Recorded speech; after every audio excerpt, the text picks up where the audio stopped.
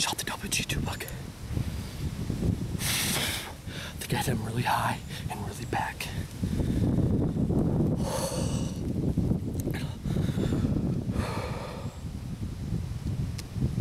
I'm gonna have to get that deer a lot of time. A lot of time. Well, guys, I want to give everybody an update. I haven't even done my open interview yet. I just shot the WG2 buck.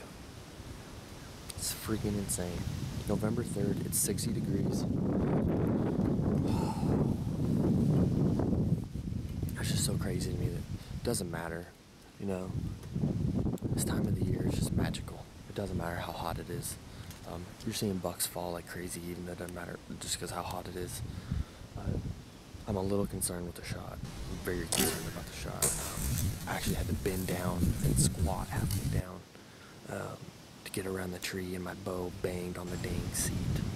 And he heard it, and he looked my way, and then he turned his head, and that's when I shot. Um, I should have took my time a little bit more. I was just scared he was going to start continue to chasing that doe. But I rushed the shot, and I hit him far back and high. Um, I'm thinking I caught backside lung, um, and I could have caught that artery as well. Um, it was a complete pass through though. It just scares me because it's.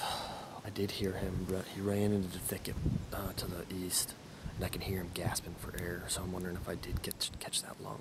Like it was like growly. So um, I'm probably actually just gonna get down. I'm gonna leave my arrow there. I'm gonna sneak out of here quietly as possible, and I'm just gonna go back to the car. I'm gonna go to work, and then uh, come back tonight. Um, I knew right away, right when I shot. I mean, I mean, I'm, I'm excited, but the same time, I'm really worried. But I don't want to push that deer, so I'm not gonna even go look. I'm not gonna go look at my arrow. I'm not gonna do anything. I'm just gonna get down and leave. I think that's the best thing I can do. I don't want to. I don't want to push him. Um, and hopefully tonight, come back. I mean, if I come back around four o'clock, I mean that's it's about eight hours, give or, give or take. What time is it now? It's it's seven fifty-five. So I, just don't want to push it, you know. So us bow hunters been doing this long enough that if it ain't in the vitals, back out. Better to back out than not. Um, I'd rather him die in his bed than suffer. Just keep pushing him, trying to find him. So, but like I said, I don't want to even go to the arrow. Just want to get out of here. I probably won't be able to get any work done today. I'm gonna be so freaking jacked up out trying to find this deer. So, so we're gonna get down. We're gonna go get out of here, and hopefully we can celebrate tonight.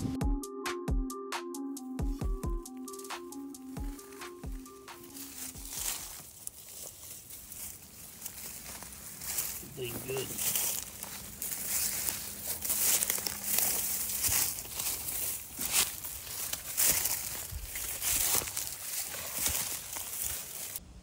It's him. I can see the kicker on his G2.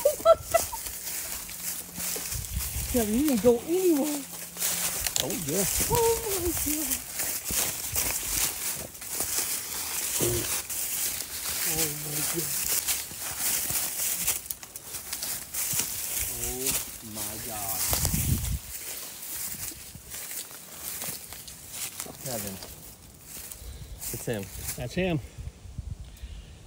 Sweet. Let's He been dead a minute. Yeah.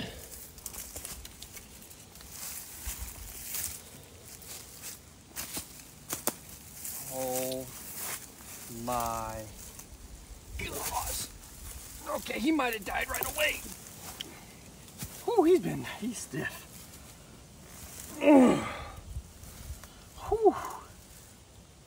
Man, he's a stud. Oh boy, he stinks. I bet he does. Been, Huh? dead, been dead a while.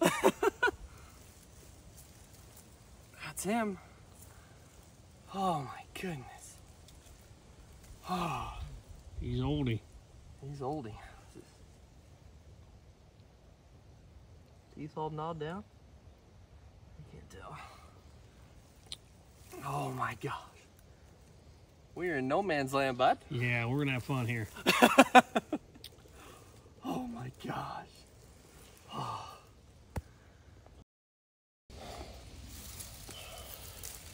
Well, guys, here he is. This is the number one deer we had on the farm this year. Um, just a mainframe 10. Um, we thought he was a bigger deer than this, honestly. We thought he had a little bit more mass than this. Um, I had an encounter with this deer on Sunday, uh, last Sunday, and he came in actually right behind me about 15 yards and knew something was up and he didn't give me a shot. And then this morning he came in about 7, 720 um, right over here and there was a doe. He was pushing around a doe. Um, and I actually made the mistake and I was trying to draw on him when he came into this opening right here. And I hit my bow on, on, the, on, the, on the tree stand and it made a thud and he didn't know what it was, but he was so clue, uh, cued in on that doe that he didn't care. So I was able to get an arrow in him. I hit him really far back, unfortunately. We didn't know if he was gonna die or not. Um, he's actually been, we waited 10 hours to come and find him and luckily he didn't make it 40 or probably about 40 yards from where we shot him. So about 60 yards he made it.